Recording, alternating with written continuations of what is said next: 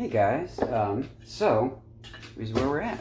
We got this all back together, looking like a legitimate violin. So here is our next task, neck and fingerboard. We're gonna get it ready and attach it to this thing. So uh, the first thing you gotta realize is when we get, um, when we attach one of these necks to it, we actually have to, it's kind of recessed into this right here. So first thing I wanna do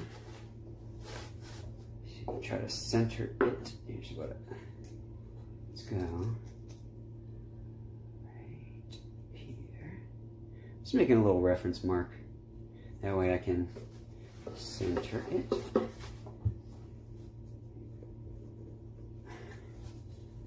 Situated up here.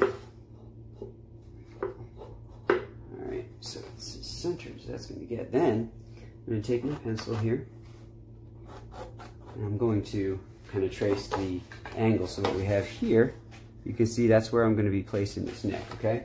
So the next thing I'm going to do is, let me grab my, oh, right here. All right. So the easiest way for me to start doing this recess here is right right here where that top lip is, I'm going to use my little saw and I'm going to kind of make lines all the way down here and then I'll start chipping away at them and then I'll be using these guys to kind of create this little pocket for this thing to sit in. So uh, I'm going to get started on that. And once I got the, the pocket done, I will show you guys. And then the only thing left to do with it is to put the neck back on. So uh, I'll be back with you in a few minutes. Hey guys, and we're back. It took a little bit more than a few minutes because I was really trying to get it as tight as I could fit.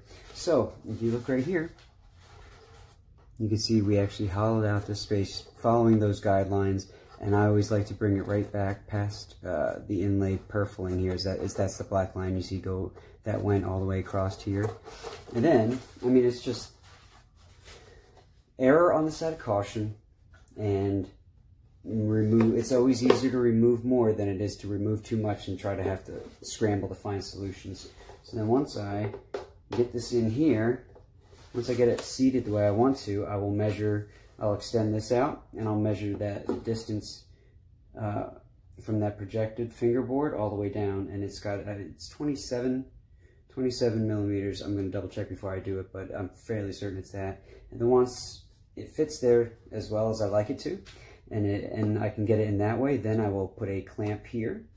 And then I typically like to use corks, but I'll, there we go.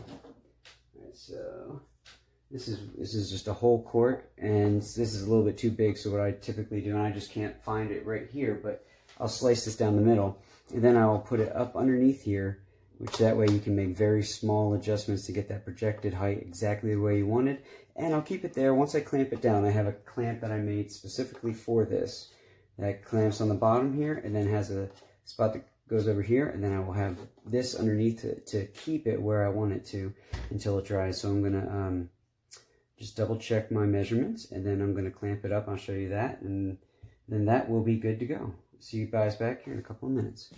All right, we got it all here. I made this little clamp that's got a, a curved action to, um, you know, basically cup on top of that fingerboard, and it clamps it against this bottom part, and you can see under here, that I start basically, I clamp it down and see where the fingerboard is, and if I need it to raise up just a bit, I'll slowly move this, uh, cut the cork in half and in here, slowly move it forward until I got 27 inches from this line to here, and this will dry overnight, and then um, I'll take the fingerboard back off before we start uh, going through and starting the varnish process. So have a good week, and I'll see you guys later.